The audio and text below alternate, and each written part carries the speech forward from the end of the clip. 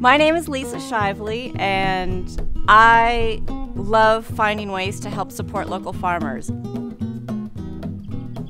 I'm working on a project called Farm to Plate, which is going to be a connection between farms and businesses who are interested in sourcing locally grown produce, meat, dairy products.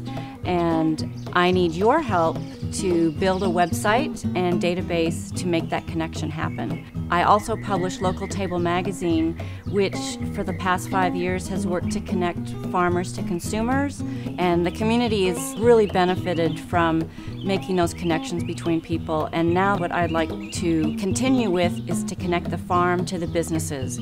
Locally sourced is a buzzword at the moment, and I want to make that buzzword actually mean something in our community. I want to make it real so that when you go to eat at a restaurant that says they're locally sourced, you know for sure that that meat came from the farm they say it's coming from, that your produce was picked that morning, it's fresh and nutritious, it's good for the community. Our local food movement needs this as it's one of the last remaining pieces to connect farmers to consumers, farmers to businesses, and everyone benefits from this, but most of all, the community benefits because now we know that local food will be at our restaurants, in the hospitals, at the schools for the kids.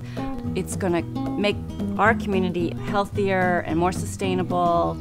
There's a lot of food out there being grown, and this will help make that connection possible. So, Farm to Plate is to connect the farms to the business and the business to you. And I need your help to make that connection possible. Thank you.